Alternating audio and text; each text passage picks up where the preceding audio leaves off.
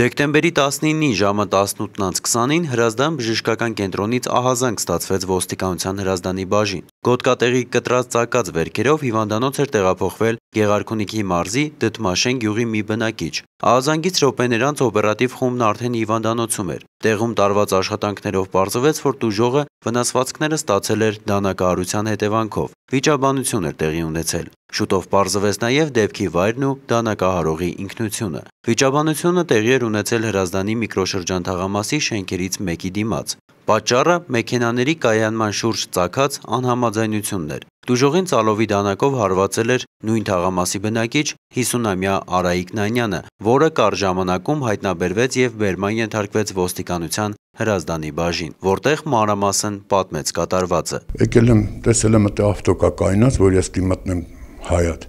Ճանապարհ եմ ուզել, ճանապարհ չեն տվել, իջել ենք, գորգրացել ենք իրար վրա, բրթել ենք իրար, դանագով խփել եմ։ Կատարվում է քննություն։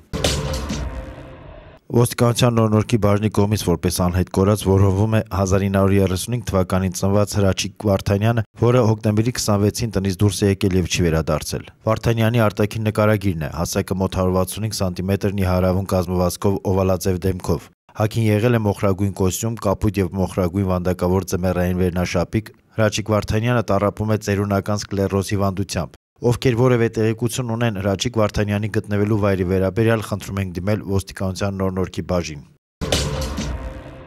Ոստիկանության Մաշտոցի բաժնի կողմից որպես անհետ կորած որոնվում է 1965 թվականին ծնված Սերգեյ Բաբլումյանը, որը դեկտեմբերի 16-ին տնից դուրս է եկել եւ չի վերադարձել։ Ովքեր որևէ տեղեկություն ունեն Սերգեյ Բաբլումյանի գտնվելու վայրի վերաբերյալ, խնդրում ենք դիմել ոստիկանության Մաշտոցի բաժին։ Ըստ Հայաստանի Հանրապետության ոստիկանության օպերատիվ հաղորդագրությունների ամփոփագրերի դեկտեմբերի 20-ից 21-ը արձանագրված մարմնական վնասվածք հասցնելու 6 դեպքից բացահայտվել է 4-ը, կողոպուտի 2 դեպքից 1-ը, խարդախության 5 դեպքից 4-ը, գողության 15 դեպքից 7-ը։ Նախկինում կատարված հանցագործություններից բացահայտվել է գողության 3, ավազակային հարցակման եւ մարմնական վնասվածք հասցնելու մեկական դեպք։ Անցած մեկ օրվա ընթացքում հանրապետությունում արձանագրվել է ճանապարհատրանսպորտային 6 պատահար, 7 մարդ ստացել է տարբեր աստիճանի մարմնական վնասվածքներ։ Ոստիկանության Էրեբունու բաժնի կողմից Հայաստանի Հանրապետության քրեական օրենսգրքի 178 հոդվածի հատկանիշներով հետախուզվում է Երևան քաղաքի Ավան թաղամասի բնակիչ 1970 թվականին ծնված Սմբատ Ջամալյանը։ Սմբատ Ջամալյանի գտնվելու վայրի վերաբերյալ տեղեկություն ունեցողներին խնդրում ենք դիմել ոստիկանության մոտակա բաժին։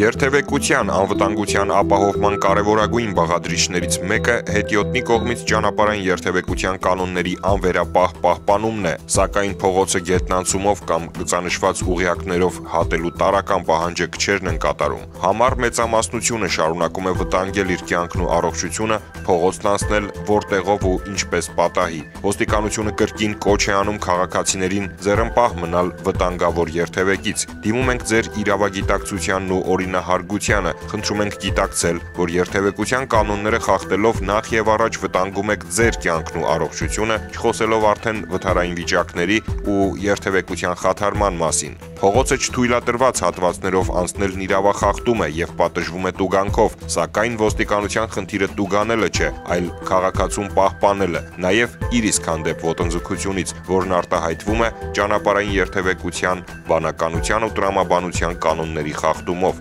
Զանցանքի ու զանցառույի դեմ ոստիկանական ու վարչական մեթոդները միշտ էլ գործուն են եւ կկիրառվեն, սակայն ոստիկանությունը կոչ է անում գնալ փոխըմբռնման ու փոխօգնության, համակեցության կանոնները միասնական ուժերով պահպանելու ճանապարհով։ Ամեն անգամ փողոցն անցնելիս հիշեք, որ տանը երեխաներ են սպասում։ Հիշեք, որ երեխաներն են տեսնում ձեր խախտումը։ Հիշեք, որ կյանքը շատ ավելի թանկ է րոպե առաջ դիմացի մայթը հասնելու ցանկությունից, շատ ավելի թանկ է ոստիկանի դիտողությունից կամ տուգանքից, որն անխուսափելի կդառնա, եթե սթափվելու եւ տարական օրինապահության մեր հորդորները մնան անարձագանք։